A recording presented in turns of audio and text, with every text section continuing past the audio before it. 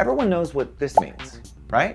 This symbol is a treats passport into your classroom, a necessary response to a sadly common and serious condition, nut allergies.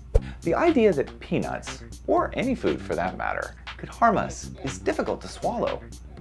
So why is it that some people's bodies react to what is simply a snack for others? We're excited to talk about it as we begin the first episode of the second season of OWLconnected's General Knowledge. The irony of any allergic reaction, from the merely annoying to the absolutely life-threatening, is that they are caused by our bodies trying to protect us from harm. Allergic reactions are caused by your body responding to something that it sees as a threat, an allergen. When an allergen appears, chemical soldiers called histamines are thrown into action. Their job? Deny entry to your body, and drive what it sees as the bad stuff out. When you break down a typical allergic reaction, whether to pet dander or, or pollen, this all begins to make sense.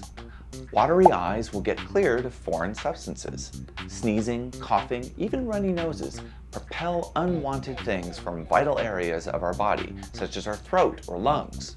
Even swelling and rashes make sense like this. Blood flow increases to the affected areas as our own cellular army is sent in to save the day. But what exactly is this army fighting? This brings us to the truly bizarre and tragic issue of nut allergies. There's nothing really dangerous about a peanut. Nothing, that is, except the body's reaction itself. This is why something like snake venom is dangerous to all of us, while a peanut affects only those with an allergy. Snake venom is a toxin. That is a poison that is designed to attack the cells of a living thing. The peanut itself is not toxic, but because the allergy sufferer's body believes that it is, a deadly situation like anaphylaxis can occur. If only there was some way to send this army into retreat. In the end, this is what devices like EpiPens do. Calm this reaction down to help bring an allergy sufferer back to a normal state.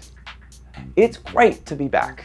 And now that we are here, please don't forget to subscribe so that you never miss another episode of OWLconnected's General Knowledge.